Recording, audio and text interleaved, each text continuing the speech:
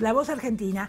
Terminaron las batallas, por fin. Ay, Dios. O sea que desde el lunes vamos a ver distintos looks. Eso es lo más Tanto importante, de Lali chicas. como de las. ¿Es verdad que Karina le dijo a la Sole, quiero tu lugar? Sí, porque No. se despidió, se despidió. ¿Cómo le va a decir así? Bueno, pero se lo dijo bien. ¿Quieres verlo? Eso no dura nada, dos segunditos. A ver, Karina. A ver, Por ¿qué le dijiste a Sole? Volver, si alguna vez no puedo venir al- al- a la voz por alguna razón, Yo este, ya avisé que cuando no vengas vas a ser la capitana mío. equipo. Perdón que no te pedí permiso. No, no, ya lo tenés ganado porque lo que acabas de hacer es buenísimo.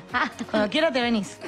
Bueno, no, invítenme, dale, me, me encantó, la pasé muy bien. Hagamos sillón doble para Karina y la listo. Como Mau y Ricky.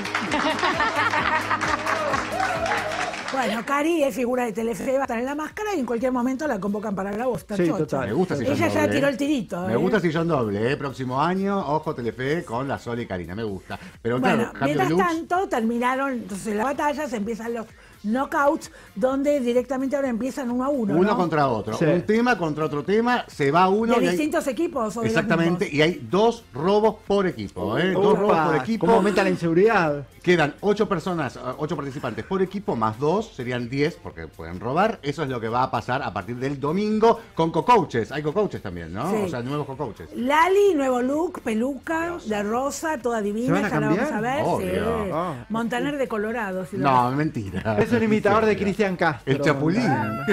Bueno, el tema es que cambian también los co-coach, quienes asesoran. Van a estar ahí Alejandro Lerner, Alejandro Lerner. aparece FMK, aparece Diego Torres Y Mateo Sujatovic Mateo de Conociendo Sujatovic, Rusia. exactamente, de Conociendo Rusia. Así que bueno,